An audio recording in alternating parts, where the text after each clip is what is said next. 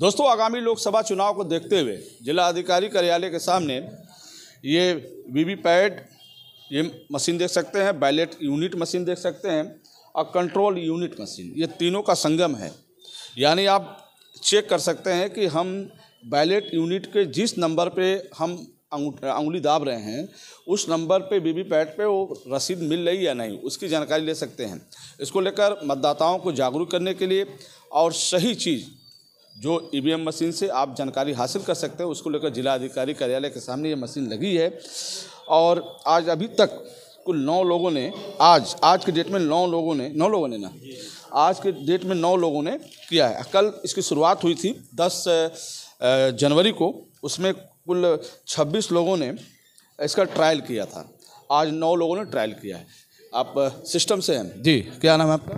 देवेंद्र कुशवाहा मेरा नाम है और मैं गवर्नमेंट आई में टीचर हूँ और यहाँ पे मास्टर ट्रेनर के रूप में हमारी ड्यूटी लगाई गई है मतदाताओं को जागरूक करने के लिए कि जो भी ये बैलेट यूनिट पे अपना बटन देख करके अपना नाम सीरियल नंबर के सामने जो भी बटन दबा रहे हैं वो क्या वी पैट में वही पर्ची पे वोट कास्ट हो रहा है कि नहीं हो रहा है वही पर्ची गिर रही कि नहीं गिरी तो इससे जब मतदाता मतदाता या जो भी जनता का ही है खुद को संतुष्ट कर लेता है कि हाँ हमने जो बटन पे वोट दिया हुआ ही हमारी पर्ची गिरी।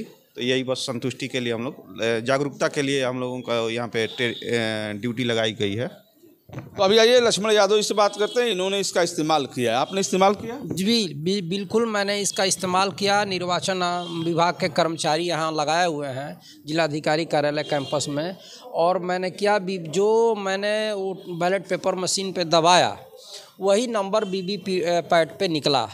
और इस जो सच दिखाई दिया इसमें जिस नंबर को मैंने दबाया वही नंबर यहाँ दिखाई दिया वी पैट मशीन में। मैं निर्वाचन आयोग से मांग करता हूँ चूँकि एक पॉलिटिकल पार्टी के वर्कर होने के नाते कि मशीन तो आपकी बता रही है। लोगों को भरोसा और विश्वास जगे इसके लिए मतदाताओं को भी एक पर्ची मिलनी चाहिए कि वो जाने कि मैं किस पार्टी को वोट दिया हूँ किसको वोट दिया हूँ। ये अब तक नहीं हुआ? ये अब तक ये नहीं हुआ है। चलिए आपका लक्ष्मण यादव जी का सुझाव। है दोस्तों आप जब भी किसी बूथ पर नेता चुनने के लिए अपने मत का प्रयोग करते हैं तो इन मशीनों का इस्तेमाल करते हैं। वैसे तो आपको बैलेट यूनिट, ये मशीन का ही इस्तेमाल करना है। बाकी सिस्टम लगा हुआ है। तो आज ट्रायल के रूप में आप डीएम कार्यालय पे देख सकते हैं। मतदाता संतुष्ट हो ले कि हमने जिस नंबर पे वोट किया, उस नंबर का ये वी पैड मशीन इसको बाहर निकालना या नहीं, ये ट्रायल कर सकते हैं। तो ये कितने दिन तक चलेगा? ये जब तक कि चुनाव नहीं हो जाता चुनाव का मतलब तिथि घोषित नहीं हो जाती तब तक ये यहाँ पे लगा रहेगा और आ करके जो भी जनता है अपना ट्रायल कर सकती है कि क्या वास्तव में जो हम बटन पे दे रहे हैं वही पर्ची निकल रही है कि नहीं निकल रही है। क्या ये जो सुविधाएँ सिर्फ़ डीएम आपका कार्यालय तक है और भी जगह पे है? नहीं नहीं और भी जगह पे है। एक जो है यहाँ पे विकास भवन में रखी गई है ऐसी मशीन। और बाकी और जितने भी तहसील हैं हर जगह एक एक मशीन जो है ट्रायल के लिए लगाई गई हैं। तो ज़िले के सातों विधानसभाओं के तहसील अंतर्गत जो भी मतदाता चेक कर सकता है, बैलेट यूनिट मशीन को, बीबी पैट मशीन को और कंट्रोल यूनिट।